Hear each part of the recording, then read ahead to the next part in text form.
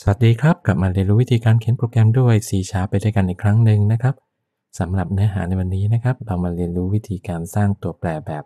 ต่างๆ แบบเบื้องต้นกันนะครับงั้นเริ่มต้นมาผมก็มาที่ไฟล์นะครับ New Project ขึ้นมาก่อนนะครับ เหมือนเดิมนะครับ ตรง Project เราจะสร้างด้วยตัว C Sharp นะครับเราก็เลือกตรง Visual C Sharp แล้วผมก็มาเลือกตรงนี้นะครับ console app net ตรงนี้ แล้วก็ชื่อตรงนี้นะครับ ผมตั้งว่า intro variable แบบนี้แล้วกันนะครับ แล้วก็กดโอเคนะฮะเราจะได้ตัวเทมเพลตของโค้ดโปรแกรม .cs นะครับย่อมาจาก C Sharp เนี่ยมาดูนะครับ จุดแรกที่เราจะเขียนนะครับ ก็คืออยู่ภายใต้ตัว main function ของเรานะครับ ตัวภาษา C Sharp นะครับ จะเป็นภาษาแบบที่เราเป็น static type นะครับ ก็คือ ตอนที่เราจะสร้างตัวแปรนะครับ เราจะต้องระบุประเภทเลย ซึ่งอันนี้จะต่างกับตัว Python กับตัว JavaScript นะครับ อันนั้นเป็น dynamic type อ่าเพราะฉะนั้นเราจะต้องเข้าใจตัวประเภทของตัวแปรนะครับ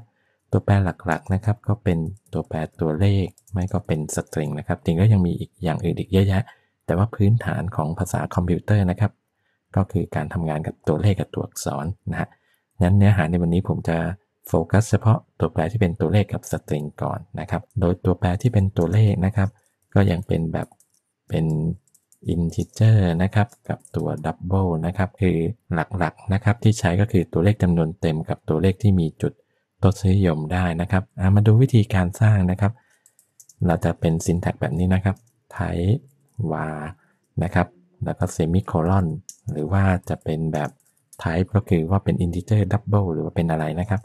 var แล้วก็บอกว่า value แบบนี้นะครับ มาดูนะครับวิธีการสร้างสมมติผมจะเขียนเป็นแบบ type แล้วก็ variable ให้ดูนะครับ อย่างเช่นผมต้องการสร้างตัวแปรขึ้นมานะครับ เป็นตัวนับว่าเรามีลูกค้าเข้ามาในร้านกี่คนนะครับ ผมก็สามารถเขียนว่าตรง customer แบบนี้นะฮะแบบนี้ก็คือ customer จะเก็บตัวเลขที่เป็นจำนวนเต็มได้อย่างเดียวนะครับ แบบเนี้ย int int int ตัวนี้ย่อมาจากตัว integer นั่นเอง นะครับ แล้วผมก็สามารถกำหนดค่านะครับ customer เท่ากับสมมุติว่า 20 แบบนี้นะฮะ เราก็สามารถเขียนแบบนี้ได้นะครับ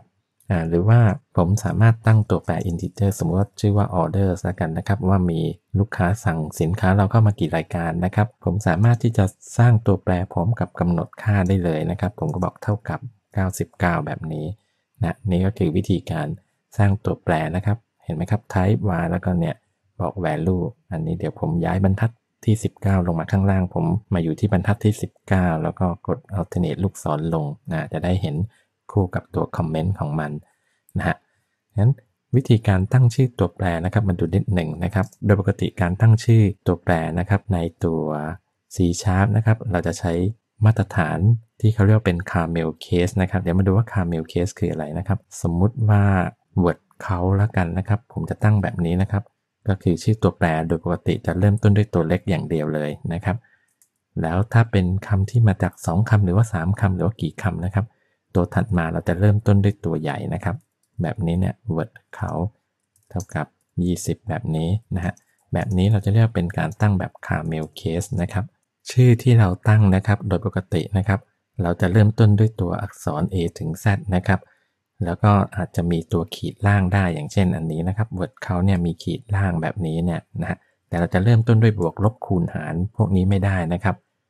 หรือว่าเริ่มต้นด้วยตัวเลขแบบนี้ก็ไม่ได้นะครับ อันนี้เป็นตัวแปรที่ไม่สามารถตั้งได้อย่างเช่น ผมตั้งชื่อว่า 1 2 3 word เขาเห็นไหมครับ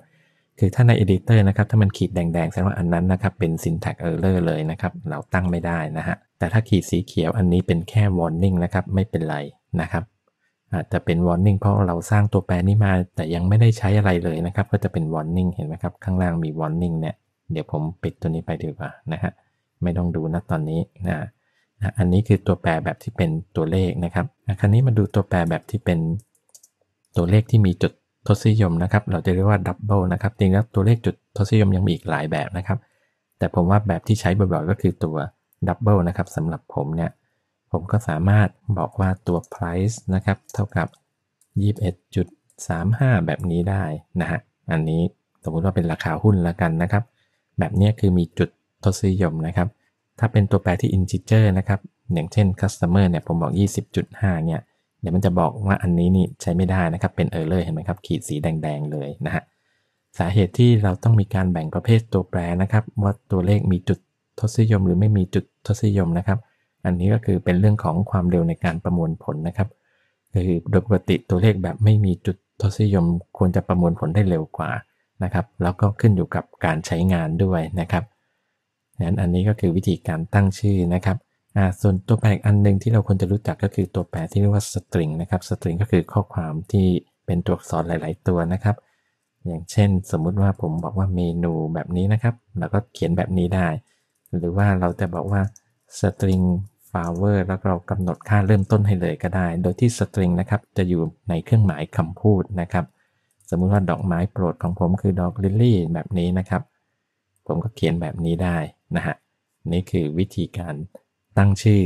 ของตัวแปรนะครับแล้วอีกอันหนึ่งนะครับ เราจะเรียกเป็นตัวแปรที่เรียกว่าชาหรือว่า character นะครับ อันนี้จะเป็นการเก็บ ตัวอักษร 1 ตัวนะครับ อย่างเช่นผมบอกว่า choice นะครับ แบบนี้อันนี้ผมใส่ค่าเริ่มต้นเลยละกัน ถ้าเป็นตัวอักษรนะครับ เราจะอยู่ในตัว single quote นะครับ อย่างเช่นตัว A แบบนี้นะครับ จะเป็น single quote นะฮะนี่คือตัวแปร 3 ประเภทใหญ่ ๆ นะครับ ที่มักจะใช้กันนะครับเอาละครับสำหรับตัวอย่างวิธีการสร้างตัวแปรแบบเบื้องต้นในวันนี้ก็ขอจบลงเพียงเท่านี้ ขอบคุณสำหรับการติดตามรับชม สวัสดีครับ